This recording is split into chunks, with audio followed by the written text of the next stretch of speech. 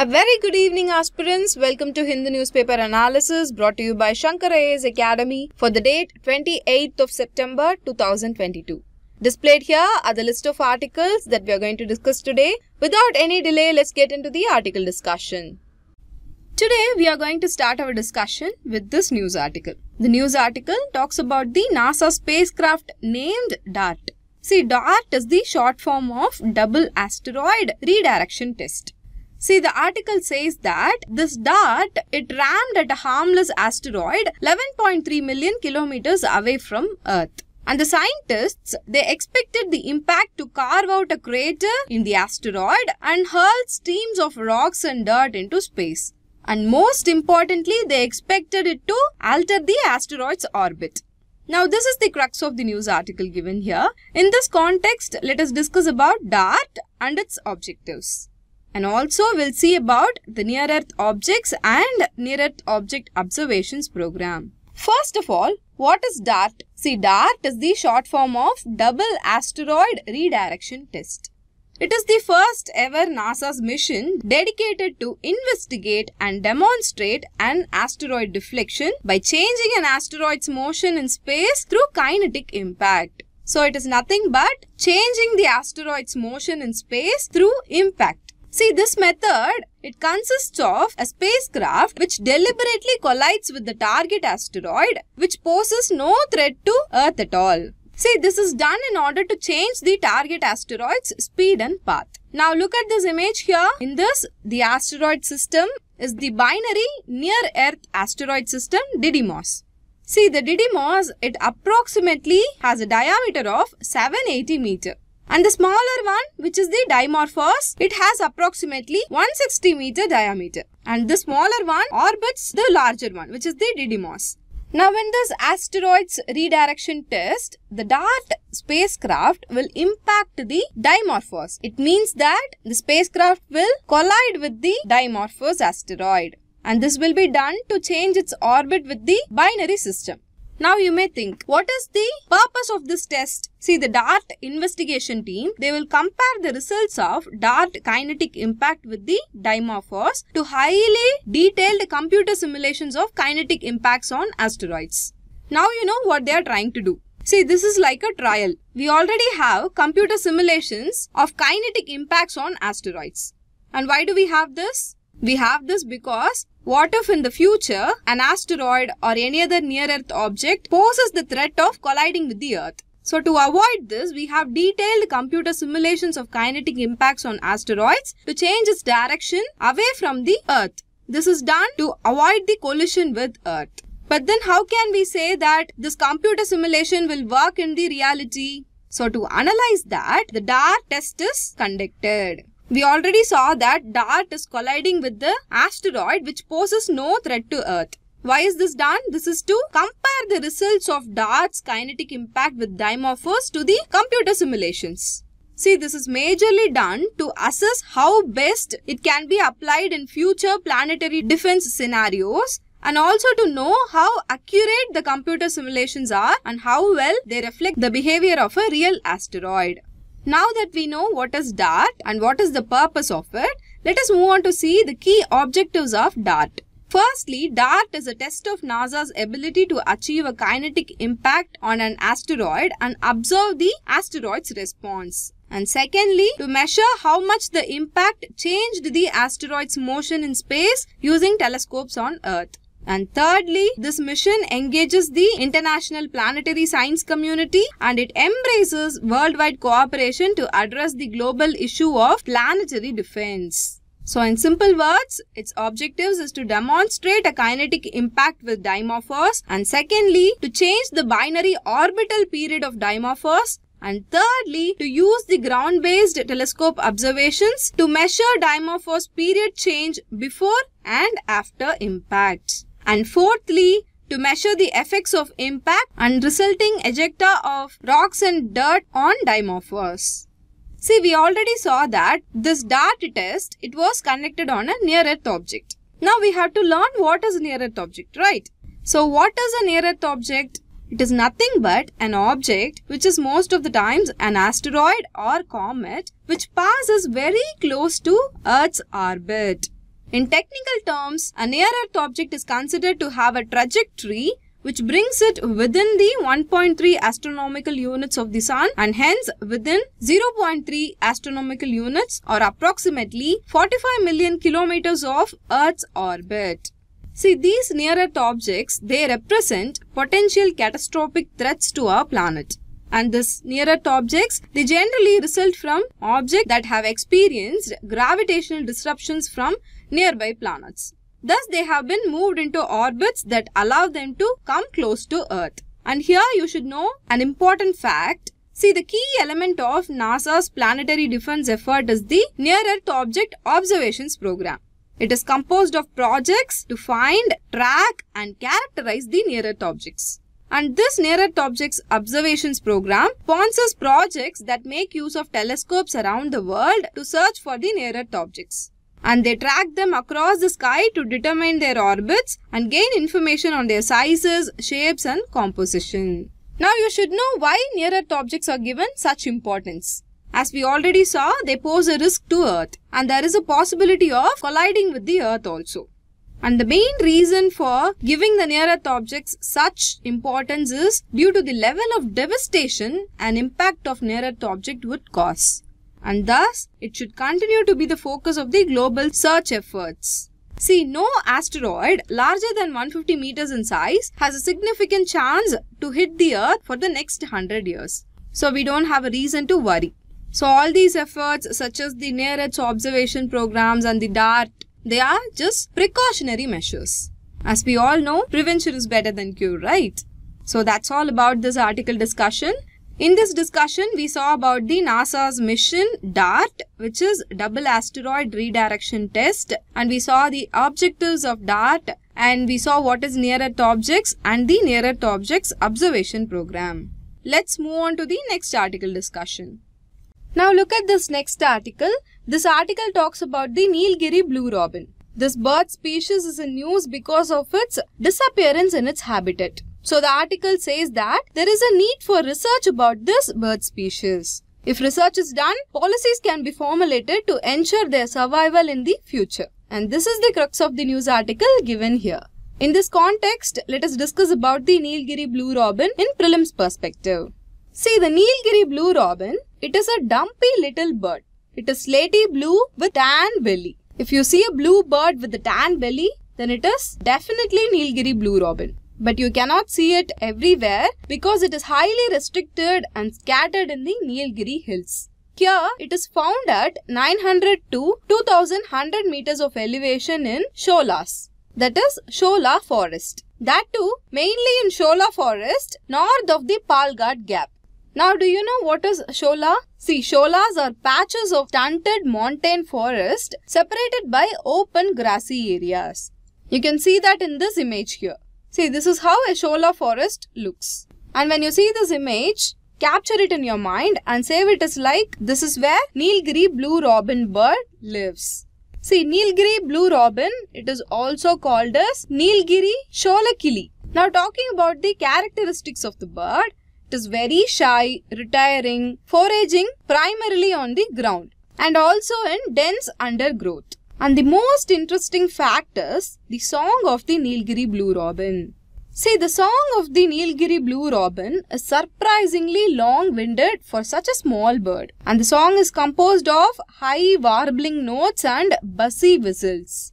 Now coming to the exam-specific details, Nilgiri Sholakili is an endangered and endemic bird species. You know what is endangered and what is endemic, right? If we are saying a particular species is endemic species, then that means that those species of plants or animals are found exclusively in a particular area. The area may be a zone or a state or a country. I'll give an example here. See, Sal, it is an endemic flora of Panchmarhi Biosphere Reserve. So when we say Nilgiri Sholakili is an endemic bird species, it means that it is only found in Nilgiri hills. Now we also saw that it is an endangered bird. And when do we call a species as endangered? As per the IUCN Red List, when there is a very high risk of extinction, then we call a particular species as endangered species. See, this is as a result of rapid population decline of 50 to more than 70 percentage over the previous 10 years. And we call it endangered when the current population size is of fewer than 250 individuals. And if these scenarios prevail, then we call a species as endangered species.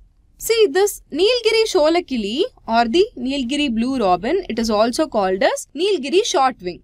But don't confuse it with the white-bellied shortwing. Actually, there are two species of shortwing and these are distributed in the Western Ghats. Among them, one is Sholicola major and the other one is Sholicola albiventris. And this Sholicola albiventris is known as white-bellied shortwing. See, these white-bellied shortwings, they are found mainly around Palani Hills and south of the Palghat Gap. So, what did we saw about the Nilgiri Sholakili or the Nilgiri Blue Robin?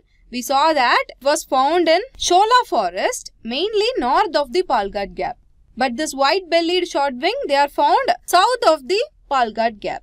We saw that Nilgiri Sholakili is endangered, right? But this white-bellied shortwing, it is vulnerable under the IUCN Red List. We say vulnerable because there is a very high risk of extinction and the high risk of extinction is a result of rapid population decline of 30 to more than 50 percentage over the previous 10 years. And the species has a current population size of fewer than 1000 individuals. So these are the scenarios when we call a species as vulnerable species under IUCN Red List. See one more thing I forgot to say here. We saw there are two subspecies of shortwing, right? They are Sholicola major and Sholicola albiventris. We saw Sholicola albiventris is white-bellied shortwing. But this Sholicola major, it is only the Nilgiri blue robin. See, I am telling you this again and again because look at this image of two birds. It is very easy to get confused. Nilgiri blue robin, it has a tan belly, but this white-bellied shortwing, it has white belly. That is the difference. Nilgiri blue robin, it is listed as endangered, but this white-bellied shortwing, it is listed as vulnerable. Sholicola major is Nilgiri blue robin, Sholicola albiventris is white-bellied shortwing. So that's all about this particular article discussion. In this discussion, we saw about Nilgiri blue robin, its physical characteristics, habitat, IUCN conservation status, and we saw the difference between Nilgiri blue robin and white-bellied shortwing. Now with these key takeaway points, let's move on to the next article discussion. Have a look at this final article. This article talks about India's foreign exchange reserves. See, the news is that foreign exchange reserves were down for a seventh continuous week. See, it had dropped to $545.65 billion by 16th of September 2022. As per the article, this is because of less inflows and higher trade deficit. But the Economic Affairs Secretary said that India has fairly large reserves to tide over the current economic situation. Now, this is the essence of the news article given here. In this context, let us learn about foreign exchange reserve extensively. First of all, what is foreign exchange reserve? See, foreign exchange reserves are assets held on reserve by central bank in foreign currencies. Note that most of the foreign exchange reserves are held in US dollars. See, these foreign exchange reserves, they are an important component of the balance of payment and essential element in the analysis of an economy's external position. So this is about foreign reserve. Now coming to the components of India's foreign reserve. See India's forex reserve includes foreign currency assets, gold reserves, special drawing rights and finally reserve position with the International Monetary Fund that is reserve tranche. See this foreign currency asset it constitutes the largest portion See, these foreign currency assets are maintained as a multi-currency portfolio which comprises of major currencies such as US dollar, euro, pound sterling, Japanese yen, etc. And these currencies are valued in the terms of US dollars. Now coming to the gold reserves, know that these gold reserves are maintained by the Central Bank of India which is RBI and the value of the gold reserves is expressed either in US dollars or Indian rupee. Now the third one is special drawing rights. They are an artificial currency instrument created by IMF in 1969. See, IMF uses them for internal accounting purposes. And the value of the SDR is calculated from a weighted basket of major currencies such as US dollar, euro, Japanese yen, Chinese renminbi, and British pound. See, SDR interest rate provides the basis for calculating the interest rate charged from the member countries when they borrow from the IMF. And know that it is the interest rate paid to members for their remunerated credit creditor positions in the IMF. As we already saw before, see these are used for the internal accounting purposes. And this instrument is calculated from a weighted basket of major currencies. Now coming to the final one which is the reserve tranche See, IMF is funded through its members and their quota contributions.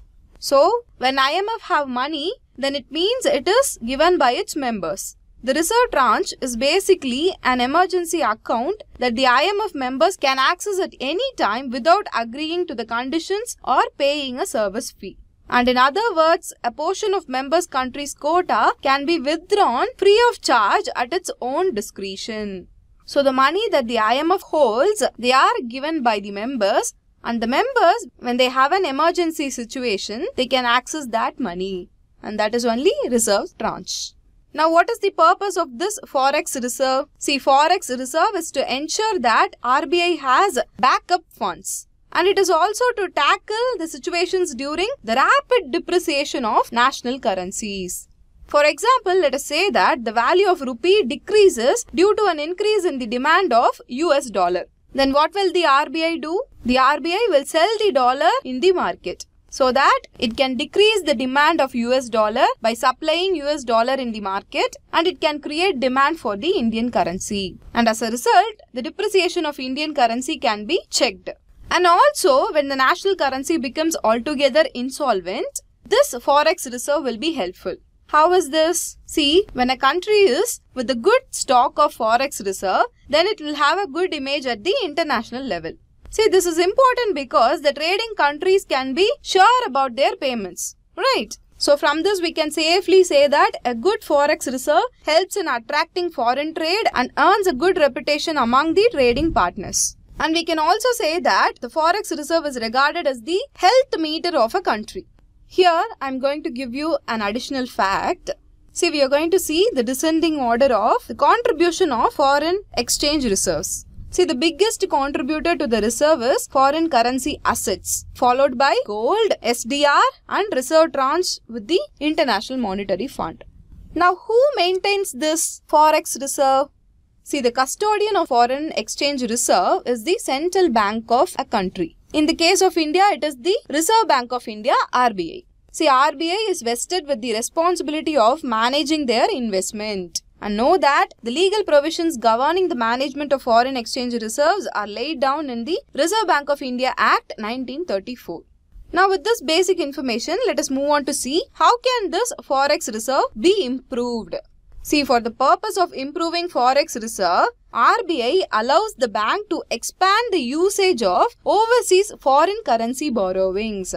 Through this opportunity, a selected category of banks can utilize the overseas foreign currency borrowings. This is nothing but banks borrowing from overseas, that is, from foreign countries. When they borrow from foreign countries or foreign banks, they will get the loan in the form of foreign currency, right? So this will boost the forex reserve of India. And the next means is by doubling the threshold on external commercial borrowing under the automatic route, the forex reserves can be boosted. How is this possible? This is similar to the first one. See, when external commercial borrowings limit is increased, then obviously foreign currency inflow will also be increased, right? And this is one method. And the third one is by permitting banks to garner foreign currency non-resident deposits. See, when NRIs deposit in Indian banks, they deposit in the form of foreign currency. And this step is also made by RBI to improve the forex reserves of India. See, by taking all these measures, RBI tries to maintain the forex reserve. Now, other than this, the basic ones are if we boost the exports, forex reserves will be maintained. And one additional benefit from this is that the trade deficit will also be addressed. And the second one is if we reduce the import dependency, then also we can maintain the forex reserves. So that's all about this article discussion. In this discussion, we saw about Forex reserves, its components, the purpose of the Forex reserve and how it can be improved. With these key points in mind, let us move on to the next part of the discussion that is the practice prelims question discussion. See today we have three questions for our discussion. I'll solve two of them and one of them is a quiz question for you. Now take this first question which among the following pairs are correct. On one side, NASA's mission is given and on the other side, the mission's purpose is given. Number 1. Juno, exploration of Jupiter's water and atmosphere. Number 2. Hubble Space Telescope, space-based optical telescope. Number 3. Parker Solar, lunar exploration program. Number 4. Artemis 1, probe sun's outer corona. See here, the first pair is correct. Juno mission, the purpose is to determine how much water is in Jupiter's atmosphere. See, this helps determine which planet formation theory is correct. And the second pair, it is also correct. See, Hubble Space Telescope, it was first built by United States Space Agency, NASA. And this was done with the contributions from European Space Agency. See, NASA named the world's first space-based optical telescope after the American astronomer Edwin P. Hubble. So, the second pair is also correct. Now, coming to the third pair, Parker Solar Lunar Exploration Program. See, from the name itself, you can easily find out that this pair is incorrect. Why? See, Parker Solar clearly indicates that the mission is about the sun. But the purpose, it is given us lunar exploration program. It is about the moon. So the pair is incorrect. See, Parker Solar is NASA's robotic spacecraft to probe the outer corona of the sun. And it is a part of NASA's Living with the Star program. See, NASA renamed the spacecraft from Solar Probe Plus to Parker Solar Probe in honor of astrophysicist Eugene Parker. And this was the first time NASA named a spacecraft after a living individual. And also, Parker Solar Probe is the world's first mission to touch the sun. Now coming to the final pair, Artemis mission, probe sun's outer corona. This pair is also incorrect. See, NASA wants to send the first woman and the next man to moon by the year 2024 and it plans on doing through the Artemis Lunar Exploration Program. See, Artemis stands for Acceleration, Reconnection, Turbulence, Electrodynamics of Moon's Interaction with Sun. See, the mission was named Artemis after the Greek mythological goddess of the moon and twin sister to Apollo. So, what is the objective? The main objective is to measure what happens when the sun's radiation hits the rocky moon, where there is no magnetic field to protect it. So from this, what do we know? We know that first and second pair are correct and third and fourth pair are incorrect. So the correct answer here is option B, only two pairs. Now moving on to the next question, which among the following pairs are correct? On the one side, birds are given. On the other side, their IUCN status is given. Nilgiri pipit, endangered. Nilgiri sholakili, vulnerable. White-bellied shortwing, endangered. See, in our discussion itself, we saw that Nilgiri sholakili is an endangered species according to IUCN Red List. And we also saw that white-bellied shortwing belongs to vulnerable category. From this itself, we know that 2 and 3 are incorrect. So we can eliminate option B and C. Now we have option A and D. Now you have to know about the IUCN status of Nilgiri pipit. See, IUCN status of Nilgiri pipit is vulnerable. It is very distinctive species of pipit and found in the western Ghats of South India. So here, the first pair is also incorrect. So the correct answer here is option D, none of the pairs. See here, know that this Nilgiri pipit, Nilgiri blue robin, Nilgiri flycatcher, Nilgiri wood pigeon, Nilgiri laughing thrush, Nilgiri flower pecker, Nilgiri thrush, they're all endemic bird species of Nilgiris. Remember this fact? Now let us move on to the final question which is the quiz question for you. Consider the following statements regarding forex reserves in India. Read the statements here and carefully attempt the question because the question has asked for the incorrect statements. And don't forget to post your answer in the comment section. Now with this we have come to the end. If you find the video useful, like, share and comment and do subscribe to Shankar IAS Academy's YouTube channel for further updates. Thank you.